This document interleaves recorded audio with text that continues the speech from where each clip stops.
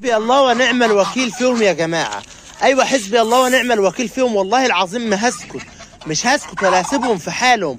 تجار العلف اللي كانوا عايزين يسمموا الأرنب بتاعه ويخلوه يموت. يلا بينا يا جماعة ندخل الفيديو وأوريكم السم اللي أنا جبته للأرنب بإيدي. قسما برب الكعبة سم. سم هيسمم كل الطيور بتاعتكم. والله والله يا جماعة اتصدمت حرفيا لما جيت أحطه للأرنب وشفت النتيجة دي. يعني حسبي الله ونعم الوكيل فيهم بجد. كلكم خلوا بالكم. أي حد بيربي ارنب يا جماعة بلدي أو بطاريات وبيفكر إن هو يجيب له ال- الكسب ده أو علف الارنب ده يخلي باله. يلا بينا كده نصلي على النبي عليه أفضل الصلاة والسلام ونشترك في قناه يا مزرعه لو مش مشتركين. وتفعلوا الجرس يوصلكم كل جديد.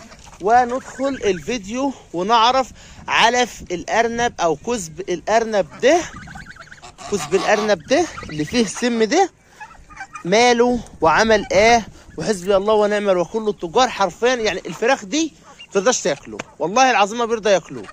يلا بينا ندخل الفيديو ونشوف إزاي كان هيسمم الطيور.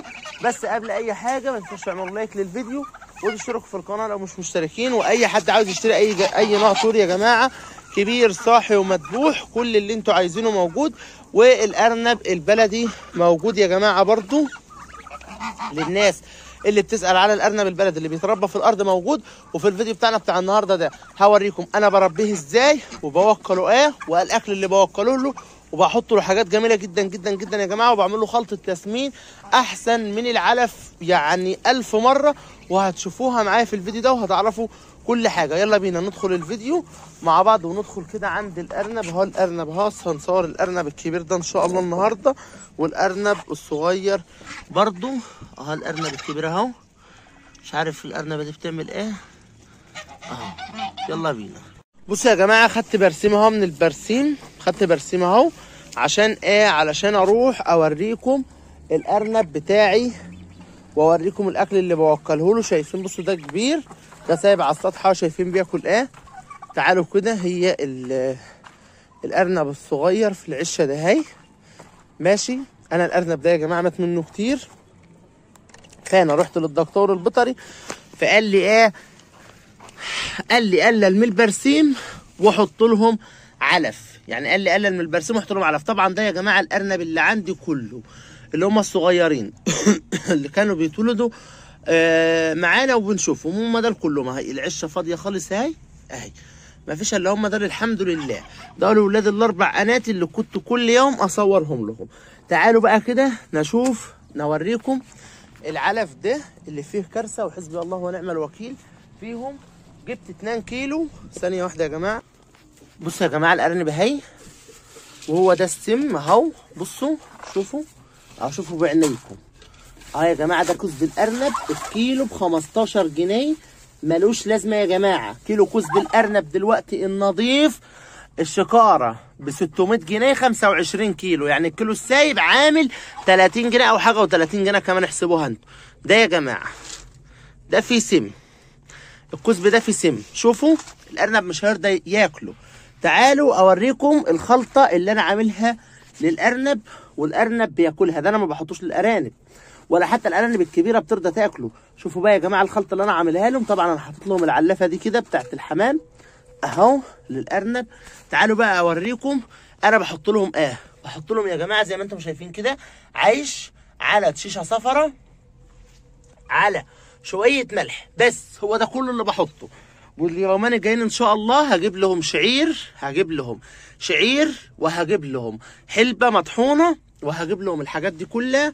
كذا خلطة كده مش هحرقها لكم عشان أقولها لكم في الفيديو الجاي إن شاء الله اللي هنعملها مع بعض الأرانب الصغيرة دي عشان عندهم جرب عشان يحميهم ويبقى وقاية ليهم من الجرب. بسم الله ما شاء الله عليهم يا جماعة. والأرنب ده للباقي لو حد عايزه واخد كل التحصينات ومتربي بالتربية الأورجانيك. ما تحطوش يا جماعة الكزب ده. الكزب ده وحش خالص وحش قوي قوي قوي أي كزب يا جماعة للأرنب أقل. من 25 جنيه أو 30 جنيه ما تحطوش للأرنب. والله العظيم الأرنب ما بيرضى ياكله وادي الأرنب الصغير أهو واكل البتاعه دي من امبارح وهعمل لكم الخلطة دلوقتي هوريكم الخلطة اللي أنا بعملها لهم وبحط منها ليهم وبحط للكبار. وآدي الطيور بتاعتنا أهي. تعالوا كده تعالوا العلف أهي. كزبره اهو ماشي؟ ثانية واحدة. يا جماعة دي العشة بتاعة الأرانب الأمهات. أنا أهو ما حط مش هحط لهم برسيم عشان دوكهم كانوا ملمومين على البرسيم. يعني دول أنا دوكهم كانوا ملمومين على البرسيم. دول أنا مش ح... ما حطيت لهمش برسيم حطيت لهم ال- العلف أهو.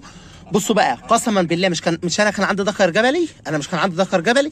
الذكر الجبلي ده مات بسبب الكذب ده. الذكر الجبلي مات بسبب الكذب. عندكم أهو الارنبتان السود والأرنبة الجبلي الثانية متابعين قناة يومياتي في مزرعتي عارفين الكلام ده كويس. الارنبه الجبلي دي كان في ذكر زيها جبلي. الذكر ده مات. مات بسبب الكذب ده. حسبي الله ونعم الوكيل مش مسامح الراجل. هتقولوا لي طب عرفت إزاي؟ الذكر يا جماعة قبل ما يموت خس وسل جامد كده. خس قوي قوي قوي. خس جامد يعني خس بطريقة أنتوا مش متخيلين أنا هحط لهم شوية برسيم عشان يطلعوا. تمام؟ الذكر يا جماعة شوفوا الطيور أهي. الذكر خس بطريقة أنتوا ما انتش متخيلينها خس إزاي.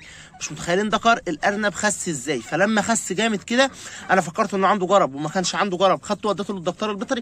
الدكتور البيطري لقي إن هو واكل حاجة كبسة في بطنه كبسة في بطنه. فقال لي ده حله الذبح تمام؟ فذبحته طبعا عند الدكتور. الدكتور سمع عليه وذبحه وكان الموضوع عادي جدا تمام؟ وشاف لي بقى في بطنه لقي الكذب ده يا جماعة ومش واكل كتير. ناس هترد فيكم على الكومنتات وتقول واكل كتير. الدكتور لما خده حلله لقي إن ده ده يا جماعة نفايات بايظة. يعني إيه نفايات بايظة يعني حاجات كده بتاع آه، بواقح عفش وحاجات طحنينة وحاطين فيها بتاع. يا جماعة بصوا بصوا ال- ال- الطيور دي هتاكله الطيور دي هتاكله. بس هو برضو غلط عليهم. الناس لما العلف رخص بقى مسعورين على الحاجة. الطيور دي هتاكله عادي جدا زي ما أنتم ما شايفين اهو. تمام؟ لكن هو برضو غلط عليهم. الكذب ده رخيص فالناس اتجهت به اتجهت ليه اتجهت ليه عن العلف. تعالوا بقى اوريكم أنا بقى بجيب لهم إيه. يعني أنا بقى بجيب لهم إيه. خلوا بالكم من العلف ده أنا مش مش هقول اسم الشكارة. بس أنا قلت لكم اهو اي علف ارنب أقل من ال 25 جنيه أو ال 30 جنيه الكيلو ما تجيبوهوش ما تجيبوهوش. وتكون الشكارة مرسوم عليها ارنب. لو شكاره مرسوم عليها ارنب. تمام؟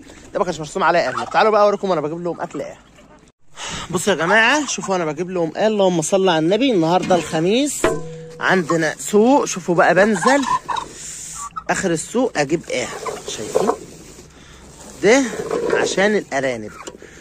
بس بس بس بس. وعلى فكرة الطيور دي بتاكله عادي. شوفوا شوفوا الطيور. الطيور دي بتاكله عادي بتحبه. جزر. جزر يا جماعة. شايفين؟ بروح أجيب الجزر. كيلو الجزر ده ب 2 جنيه. أنا جايب لهم 12 كيلو عاملين 25 جنيه. 12 كيلو عاملين 25 جنيه. وممكن بطاطس بس البطاطس غالية شوية. تعالوا بقى أوريكم وأنا بحط لهم الجزر. يعني أصلا تشوفوا الطيور دي هتتجنن عليها إزاي. بس أنا بوفر له للبتاع. طبعا ده جنب البرسيم جنب العلف اللي بحطه. بحط بقى تشيش الدشيش نظيف. بحط حاجات من دي نظيفة. اهو نظيف. بس. شوفوا. اهو ادي يا جماعة الأرانب. شوفوا بسم الله ما شاء الله. طبعا الحاجة عايزة تنضف وتفرش لهم تبني نظيف. أهو شايفين؟ يا رب واحدة فيهم تيجي تاكلها دلوقتي قدامكم. بصوا شايفين؟ أهو بيشمشم فيه بيعشقوا أصلا الأرنب بيحب الجزر. يا رب واحدة تيجي تاكلها دلوقتي. كلوا بقى قدامهم بقى عيب. اهو شايفين شايفين السودة؟ أيوه البيضة والبيضة التانية. لا السودة أكتر واحدة بتاكل. شايفين؟ فبحط لهم بقى يا جماعة والجزر حلو ومغذي ونظيف على فكرة آه في ناس أعرفهم بيغسلوه وغسله كويس بس بصراحة نظرا لإن أنا مش فاضي إن أنا أغسل ما بغسلهوش. لكن لو أنتوا هتجيبوه ولقيتوه موسخ اغسلوه. الأرنب أهو.